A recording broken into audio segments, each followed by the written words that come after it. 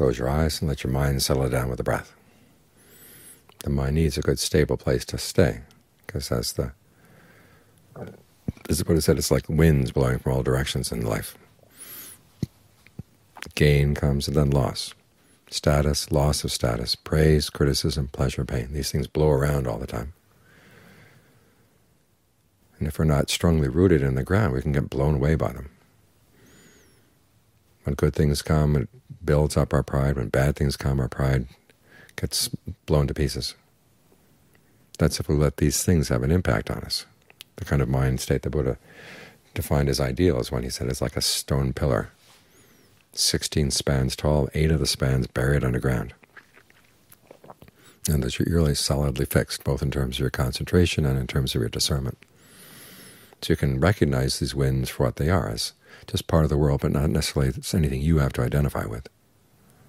You can step back from them and have a sense of well-being inside. That's what the concentration is for, to help provide that sense of being at home right here, regardless of what comes up.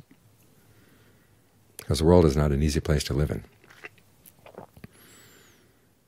And we can often make it harder for ourselves by taking the attitudes of the world and putting them in our own minds. So we've got to learn how to keep them outside. This is the way other people think.